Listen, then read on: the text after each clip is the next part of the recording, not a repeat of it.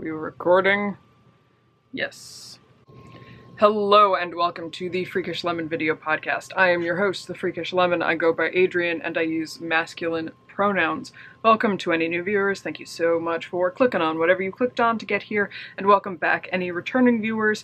Thanks for following along with this thing that I do. This is a crafty type podcast coming to you from the Northwest Hills of Connecticut, which is an area um, that includes parts of the Tunxis, Paugussett, and Mohican homelands. I forgot the rest of this. Uh, this podcast episode has closed captioning and transcripts are available in the show notes. Show notes and everything can be found over at freakishlemon.com. Uh, we have a group on Ravelry. You can search Freakish Lemon in the groups tab and you will find us. And you can follow me at all the fun places like Tw- Instagram and Ravelry as Freakish Lemon because that's really what I use these days. Um, all the links to these things will be in the down bar here on YouTube or somewhere around here if you're watching this somewhere else. And uh, please remember to subscribe here on YouTube if you want to follow along with this thing that I do on YouTube and like know when I post videos and things. Uh, this is being filmed on Friday, December 20th, 2019, which is why we are in front of my tiny bedroom Christmas tree. Uh, and this is I'm calling a zero effort podcast episode. No effort. That's why I'm wearing a hat because the hair situation was a thing. And why we're filming on the floor and why there's no lights on. Um, the. What's the word I'm looking for? The brightness on this camera is great because it's literally this tree and a lamp next to my bed that are on right now. And uh, I don't know what it's going to look like by the time it makes it to the video, but in my little preview screen here, it looks pretty well lit. Um, when it's really quite dark in here. Like, my dog is on my bed, looking at me like I'm a crazy person, trying not to fall asleep. She's blinking her little eyes at me, because she's trying not to fall asleep, because it's that dark in here. Um, uh, yes. So the video that you just saw um, is me managing the uh, fabrics and materials that um, I suppose I've inherited from my grandmother. And I just didn't know how to talk about them on the podcast because that just seems like, I don't know, it seems kind of shitty to be like, this is my haul from my grandma's basement and frame it that way. Um, I think uh, me and Gabby from the Once Upon a Corgi podcast kind of ran into that same conundrum. She's talked about it um, once or twice on her Vlogmas episodes now, but it was in the context of this is the thing that I'm doing right now. I'm bolting fabric that has been washed and, and retrieved from my grandmother's house um, type of situation. So, yeah. I just, it's also kind of contributed a lot of what my time has been spent doing over the past couple of weeks because it was very time consuming to wash and organize all of the things that I did get. Um, I won't talk too much more about it because it's probably not that interesting. I just wanted to, um, in case you were wondering why I have so much white fabric now, um, I'm getting to a point in my sewing where I want to I'm kind of semi-drafting a shirt pattern right now and I'm going to be doing some costume stuff. So I need fabric for mock-ups. And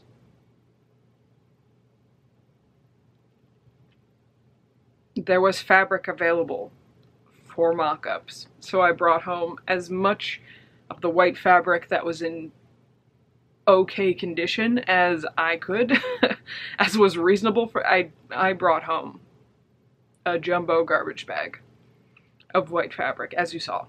Um, so that's why I have so much white fabric. I'm not anticipating doing some giant project or I don't use a lot of white fabric. Normally in my sewing, I need mock-up fabric. Um, and otherwise this fabric is going to sit in a storage unit for probably another 20 years. So it came home with me. Um, so let's move on to the podcast proper. Uh, first thing I want to talk about is dye stuff. I have not done any dyeing, but I did want to give you folks an update about my indigo dyed Targhee yarn that I bought from Green Mountain Spinnery. This was the blue, of course it was blue, it was indigo dyed. This was the yarn that had a lot of lanolin in it and it kept turning my hands blue whenever I picked it up. My hypothesis was that because there was so much lanolin in the yarn, it was the lanolin that was trapping the dye particles that were rubbing off on my hands. It wasn't necessarily what was in the yarn itself. So I have taken my five skeins, uh, and they look very different now, my five skeins of Targhee wool, and I scoured them. I have a jug of um, Kookaburra scour that I bought when I was processing my two mystery fleeces. Um, so I scoured the heck out of these. These went into hot, hot water with the scour three times at least. I think one of them only went two, but three times with the scour and then two more hot water rinses and the this is not going to be color correct because I don't have real lights on right now. Um, but before it was, I would say a normal medium denim blue, and now it's more of a faded denim blue because so much of the dye particles were trapped by the lanolin. So that's a lesson for you if you are doing dyeing, especially indigo dyeing. I'm not sure how it would affect other dyeing, the amount of lanolin in the wool. Um, that's a question for somebody who's a lot more experienced in dyeing different types of wool than me. Uh, but if you are doing something like indigo dyeing, where um, crocking or what's the word? There's another word for when it comes off on your hands, um, is a thing, then definitely scour your wool if it is a, a natural, natural wool. If it's coming from a distributor like Wool to Die For or a commercial yarn, it's not gonna, you're not gonna have that problem. Um, but this was a, a very greasy wool that I got from Green Mountain Spinnery. Um, they do process a lot of really kind of off commercial breeds that are uh, have a lot more lanolin content in them than a, a merino or a BFL. So all five of these have been processed and that took me uh, almost two weeks just because of how time consuming it is. Um, and another reason why you want to scour your wool before you dye is so you don't end up with this situation happening here. Apparently this section of this skein had almost no lanolin in it because the that was the color that my skeins were before. And this is what they are after the lanolin has washed out. So this skein has a bit of a splotchy problem, which I'm sure will not be a problem once I knit this up into a sweater because it's not going to be, it's not a straight dye anyway. And I'll be alternating skeins and all that good stuff but it is something to be aware of um, if you are dyeing with greasy yarn. But that's all I have really to talk about uh, for dye stuff. I just wanted to give you guys an update. In case anyone else had the same question slash hypothesis that I did. My notes have fallen asleep. Surprise. It wouldn't be a podcast without my notes falling asleep. So I've got a couple of FOs to show you, but um, only one of them is something that you've seen before. So the first FO I have is a sewing finish object. I made these two pillow covers uh, while I was... Hello. I knocked something down. I don't remember what prompted these pillow covers. But probably this fabric that I rediscovered in my stash. It's high penny. It's orange. It has these stag heads on it. So I did this pillow cover and this is just a normal like sleeve pillow cover. This one has black piping on it. I made the piping. Um, the actual cord inside is a cord that I made out of some leftover worsted weight yarn of mine using a Lucette tool um, and some bias binding of this black fabric, which is an Ikea sheet that didn't fit my mattress. Um, so that's that pillow, and then I have another smaller one. Uh, this one goes on my bed, this one goes on my chair at my, high penny, at my sewing desk. Uh, it's a smaller one. Um, same principle, but no piping because I didn't, I wasn't quite happy with how these curved corners turned out. Uh, so I just went with a regular square on this one. And then, because although they look very nice from the front, this one had a bit of a snafu. I don't know if you can see it because it's black fabric and there's no lights on but there's this little thing here. I put this snap in because I made the overlap a little bit too small and you could see the pillow underneath. Um, but while I was putting the snap in, I tore a huge hole in this fabric and I wasn't going to unpick it and cut a new piece. So I just like grabbed a scrap piece of fabric, put the other snap in it, and then just sewed it in place to where it should be. So it's a little bit hodgepodge. But it's fine because it's mostly under my butt in that chair. Um, so hooray. I think those were, honestly, it was just, it was supposed to be a weekend project that was like a quick, a quick hooray, but then it took me like a week to do everything's taking me 50 times longer than it should take me these days. That's just how it's going, and I keep not looking in the camera lens. That's a problem. Uh, another finished object is I finally finished these these Palmer ribbed socks that you like can't see. Okay, there we go. Let's reflect some light from the other side of the room. Um, this yarn is Palmer Family Farms yarn and I think she hand spins it. Uh, there's this like rusty brick red and there's this natural brown. This is a ribbed sock pattern that I developed specifically for this yarn because I had a ton of it in stash and I wanted it all to be socks. So it's a, what is it? It's a 2 by 2 rib in the cuff. It's a 3 by one rib in the body and along the top of the foot. Um, it's Fish Lips Kiss Heel because I can use those uh, in a DK worsted weight type of weight. Um, for my foot size, I cast on 40 stitches using a size 3 needle, but most people have a tighter gauge than I do. I have a very loose gauge, so if you've never knit worsted or DK weight socks before, look up a pattern for it. I I've knit a few pairs of socks in this weight of yarn that don't fit, so um, with the Palmer Family Farm yarns, it's all relatively the same weight. So this is uh, sock number five and six of my Palmer Family Farm socks in this particular um, pattern. And sock number six hit me hard.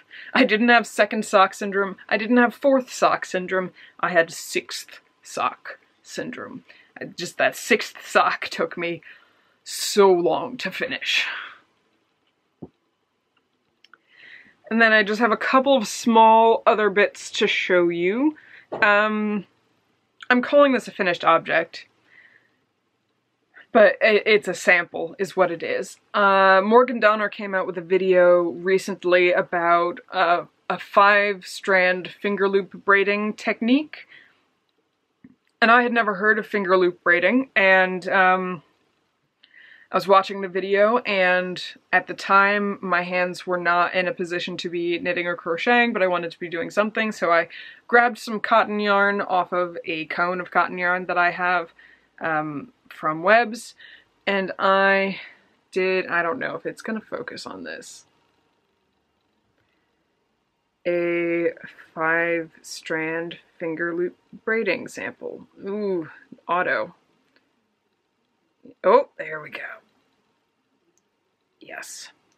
It creates, ooh, it had it for a second. Nope, it's done.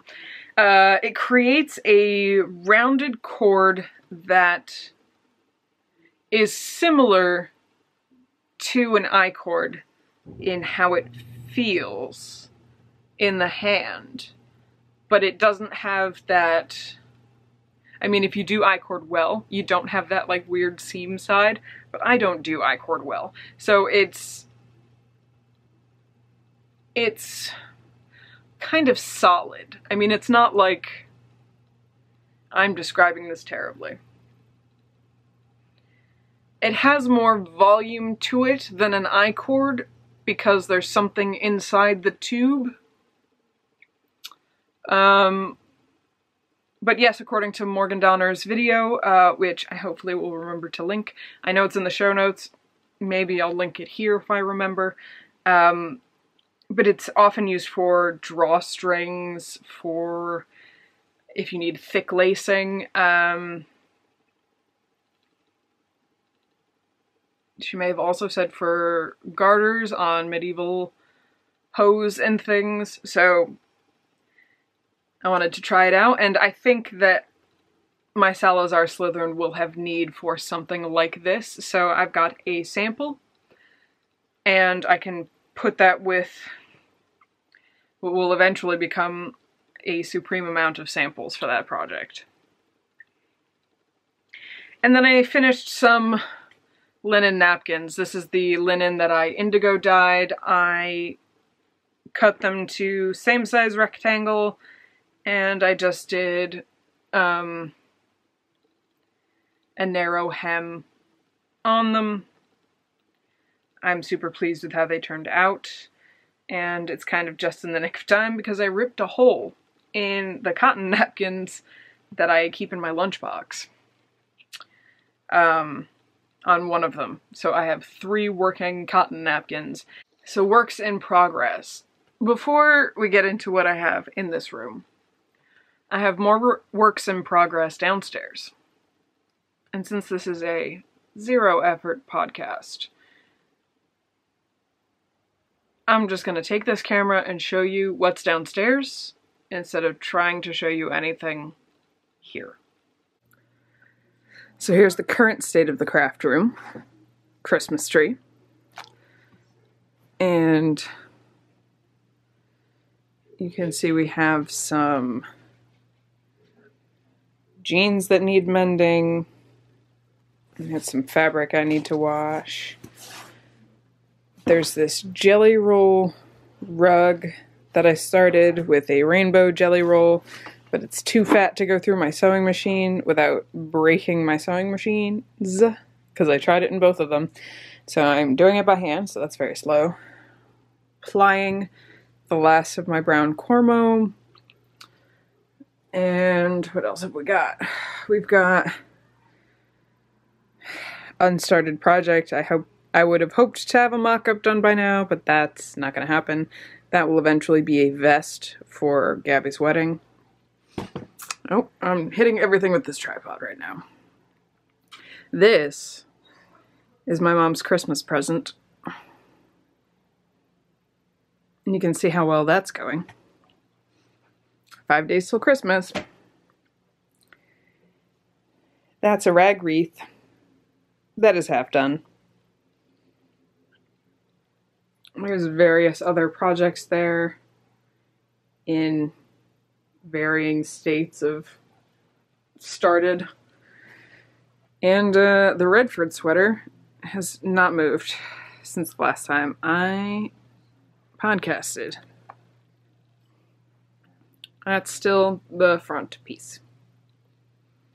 And that's why you take the weights off your machine knitting if you walk away from it.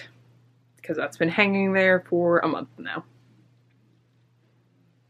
And um, everything's just a little bit crammed in here right now because of Christmas tree. And you know what? I don't know if I've ever shown them on the podcast before. But uh, let's just zoom in on my favorite Christmas ornaments. They're my favorite. There they are. Sy Snootles and the Max Rebo band. Oh, they're so perfect. They're the best. Okay, so I have been doing some not craft room related projects. Uh, the main one of which is the return of the Cozy Memories blanket. I am doing a Yarny advent calendar. Hi, Pen. she keeps looking at me when I talk. Um, it is an advent calendar that I made for myself last year before New Year's, so I don't remember what's in it. So I pulled out the blanket. And last time I talked about this blanket, I had decided that I was going to start doing double size squares to finish off kind of one half of the blanket. The other day I counted how many small squares there are across. There are 23. So that idea is scrapped because I just do not have the brain motivation to put another row of small squares and I'm not ripping these ones out. So it's small squares until the day I die. Um, so the squares that have progress keepers on them are ones that I have done. These are not all from the month of December. There were some from uh, the summer that I did, but um, oh, this camera doesn't know where it's going. But I don't know which ones those were. There's that one, and then I'm down here. So I think my plan is to go back to this old plan and kind of stair step it down and not add any vertically up this way until I get an idea of if the ratio is anywhere near correct.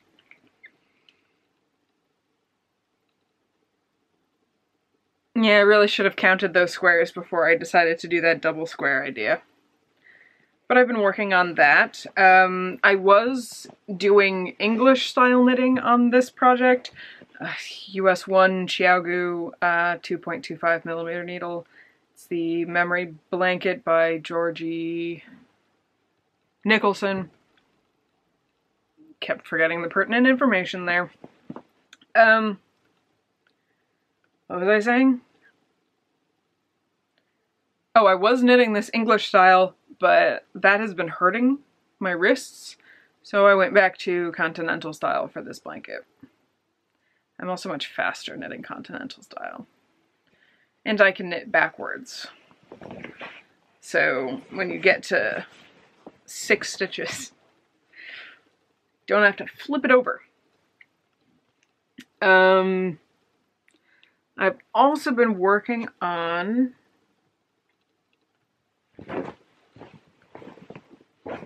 Gotta dig it out. My Rice Fields shawl by Elżbieta Turenk. This is on a US 3, 3.25 millimeter needles. Um, Berroco Ultra Alpaca Light for the black and Legacy Fiber Arts Hocus Pocus colorways for the colors. This is a semicircular two-color brioche shawl. Last time you saw it, I was at, is the stitch marker even visible? This Progress Keeper. So I put four or five inches on it. Um,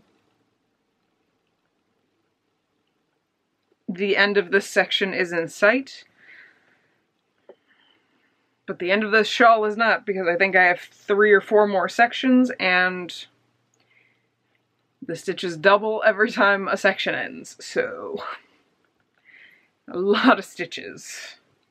It's and I do two pass two color brioche because I just do not currently have the brain power to put into the effort of learning one pass two color brioche. And that's the end of that. It's not going to fit back in that basket until I talk about these other WIPs. I've also been working on my pinwheel scrap squares. That's from the pinwheel scrap blanket pattern by Mina Phillip. I'm holding fingering weight yarn double using a th US 3 3.25 millimeter needle. The first one is done and the ends are mostly woven in. I got a couple of ends hanging out. Maybe half the ends hanging out. So there's one. And I'm starting the second. This is not going to be a blanket. These are going to be seat covers for my car. Um, I haven't gone out to measure, but I've been thinking about the size of these and the size of the seat in my car, and I think at this point in my brain, I'm just gonna do, I don't know. I may just do four of these squares, seam them together, and that'll definitely cover the seats of my car. Um, so I might just do that instead of trying to figure out how many inches of border I need in order to make it work. I might just do four, seam them, slap it on the car seats, and call it a day. So here's the second one. I'm in the third triangle. This one is using mostly the same yarns as this one. So if I do the four square idea, they'll kind of go diagonal to each other. And I'll have plenty of leftover minis now that I'm not doing double-sized squares on my Cozy Memories blanket.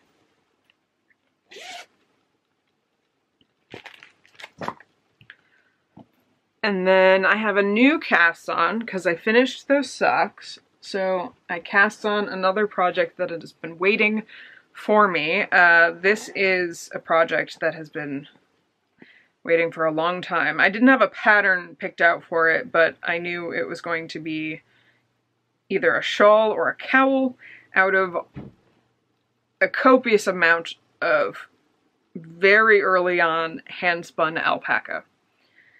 So I opted to do the Nicoletta by Yuki HS. I'm doing this with US 8 5 millimeter needles. And this is my cowl. I think it's a free pattern. Um, the cowl that's shown on the cover is a much more close-fitting cowl. It's not a, like, right up to put on over your face cowl. It's more of a kind of this cowl, but I have so much alpaca and I already have a couple of cowls that sit in the same way that that pattern initially calls for, but the math to adjust it is really easy. Um, so I ended up casting on 200 stitches, I think it ended up being. Is it 200? No. Maybe. I'm not going to count them to find out. Um, I cast on more stitches than what it calls for to get a length that's more of a twist it once and then put it over. So one loop. That was not a great explanation. So one cowl, twist it into two loops, put it on, and then it would be close fitting. Zero effort.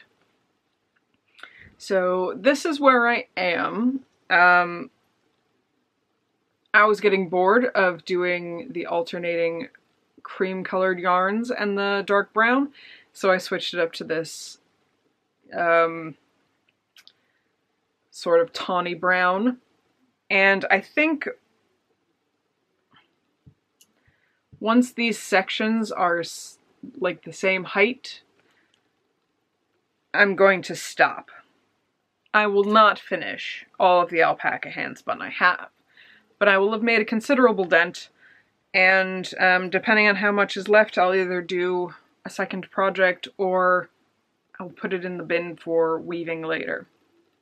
Um, because I don't use a ton of alpaca yarns these days. Alpaca was one of the first things that I learned how to spin on a drop spindle because it was prevalent at the small fiber events I was going to here in Connecticut, um, and it was cheap. It was affordable for me at the time because I learned how to spin in college when I had zero income.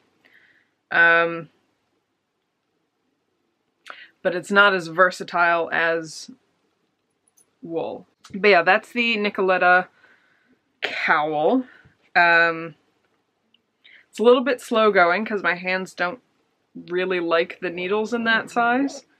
Um, but I don't know if that's because I've been stressed and therefore inflammation is more prevalent in my life, or if they just genuinely don't like that size.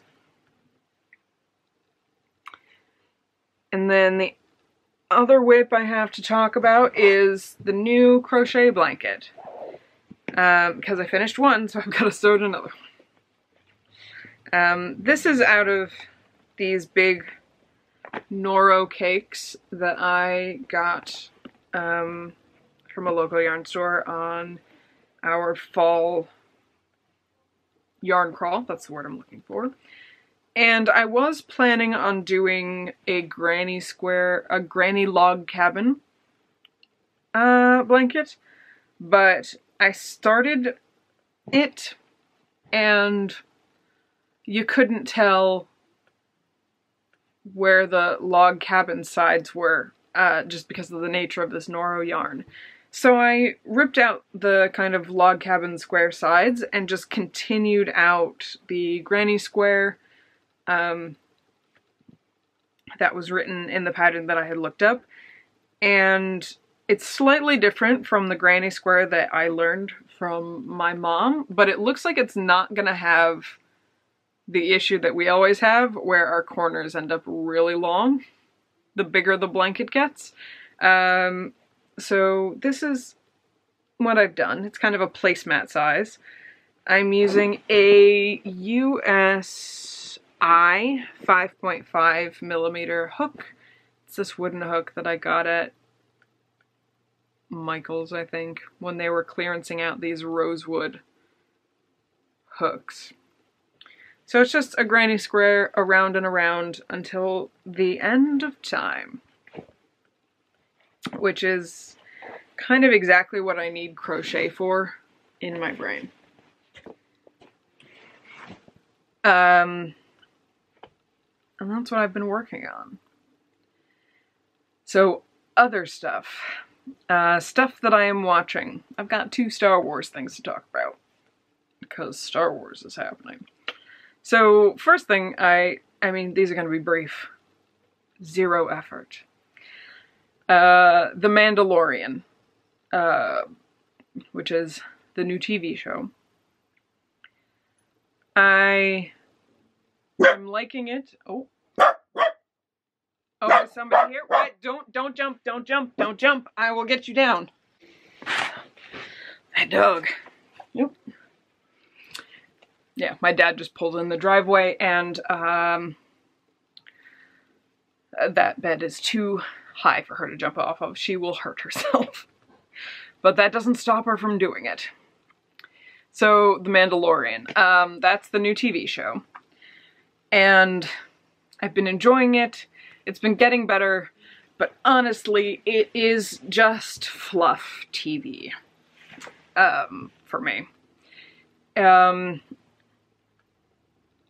watching the um, concept art slideshows during the credits is the same level of entertainment that I feel while watching the TV show. I don't know. I love the side characters. Mando's alright. Um, Baby Yoda is great. But I'm not like sucked in waiting for the next episode to show up. I'm not furiously re rewatching it for clues as to what's going to happen the way I was with Rebels or Clone Wars. Not really Clone Wars. I'm, I'm not searching it for every little nugget of Star Wars information I can possibly glean, um, which is how I typically react to things that I love about Star Wars. So it's just been kind of meh for me. I mean, it's it's a way to spend 40 minutes that I don't hate. Okay, and then today, Friday the 20th, I went to go see The Rise of Skywalker. Number nine. Um, and I'm not going to give any spoilers. I'm really not going to say anything about the movie itself.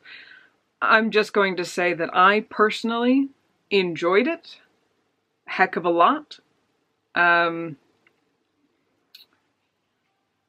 in the same way that I enjoy extended universe books and TV shows and video games and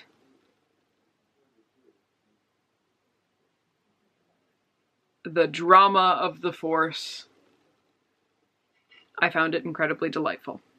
There's a particular type of Star Wars drama that I adore, and this movie fell into that groove in my brain. So if you didn't like it, you maybe have not found that groove in your brain. um, what am I listening to? So I've been not listening to audio podcasts because zero effort uh, for the past three months. So it's mostly been audiobooks. I talked about the Raven Cycle series in my last episode. I've been re-listening that to that and uh, sort of as I was finishing my second re-listen, uh, Call Down the Hawk by Maggie Stiefvater, uh, narrated by Will Patton, came out. Uh, it's part of a sequel trilogy to The Raven Cycle, um, the Dreamer trilogy, and I really enjoyed it. And then I listened to A Court of Mist and Fury um, by Sarah J. Maas, uh, narrated by Jennifer Ikeda. I definitely liked this book more than the first one, but there are some pretty jarring pet peeves that I have about Sarah J. Maas's writing and how she's crafted this world that throw me out of the story, so I this is not the one for me. I'm not going to go searching for the third book to listen to. I just think it's not one that I'm currently in the headspace to even care about. Uh, I've, and, and because of those pet peeves that I have, I turned to my, my Fae favorite, Holly Black, and I listened to The Cruel Prince, uh, which is narrated by Caitlin Kelly, and I started The Wicked King, which is also narrated by Caitlin Kelly. Um, I haven't finished it yet because I've been stressed, so I just need comfort listening. So I'm re-listening to The Raven Cycle. It'll be Star Wars books after this because I need some Star Wars books in my brain for a while. Um, I also borrowed from the library digitally um, The Children of Blood and Bone by um,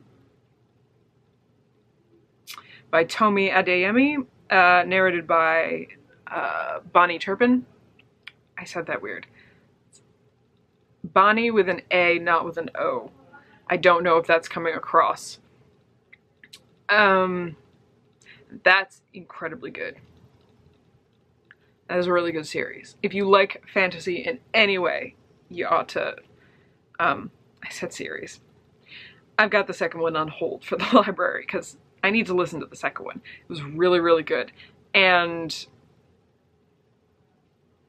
because fantasy series tend to create bubbles where you kind of don't go outside the norms, like, you know, elves and dwarves are usually pretty the same throughout type of thing. Um, this series really took magic in an interesting and new to me place. So, thumbs up for that series. Uh, stuff that I'm reading, I actually started a physical book that I can kind of talk about. I started um, Tipping the Velvet by Sarah Waters, and I just need to tell you how refreshing it is to start a book about gay people where the main character immediately knows that she's gay and doesn't have an existential crisis over it. Like, I'm not even that far in. I'm maybe an eighth of the way in through this book. And I'm like, oh my god. We're not going to spend this entire book pining, should I go for it, should I not, blah blah blah. Like, that has been so rare in my experience that I, it, I don't think I've ever read a book with a queer character as the main character where that was not the case. Like, wow. um, and that's really all I've got to talk about for this episode. Um, so show notes and links to everything will be over at freakishlemon.com. Uh, you can join us in the groups tab. Just search Freakish Lemon. You can follow me as Freakish Lemon on Instagram and Ravelry. Links to these things will be in the down bar here on YouTube or somewhere around here if you're watching this somewhere else. And um, if you want to follow along and know when my next video goes up, consider hitting that subscribe button if you want. No pressure. I'm gonna go eat dinner. And uh, that's it. Goodbye.